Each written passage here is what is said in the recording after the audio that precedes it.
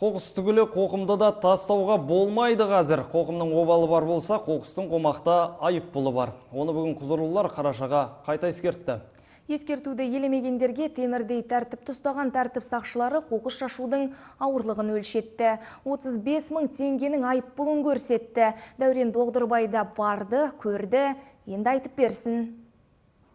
Облыс орталығын күл қоқыспен құрылыс қалдықтарынан арылту үшін әкімдік қызметкерлері тәртіп сақшыларымен бірлесіп рейттік жұмысқа кірісті. Әуелгі заң бұзушы Бауыржан Момышұлы көшесінің бойында құрылыс жұмыстарын бастаған. Тек оны қоршауды ұмыт қалдырған екен. Осыған байланысты құзырлылар бір реттік ескерту жасады.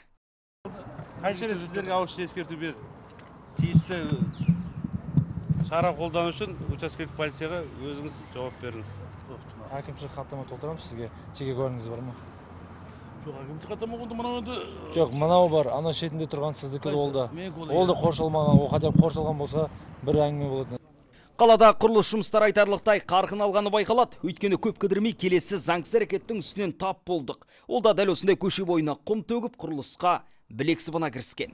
Екі сағатқа созылған рейд басында онға жуық заңсыз әрекеттер анықталып, бір қатарына айыппұл салынды.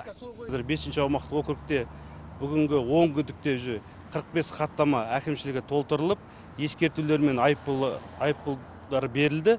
Бұл жұмыстар ары қарай жалғасын табады. Құрметті қала тұрғындарына құрылыс ә, қалдықтар материалдарын көше бойларына үймеу есік алдына ә, сақтамау жөнінде ә, қатаң ескерту беруге шақырамын.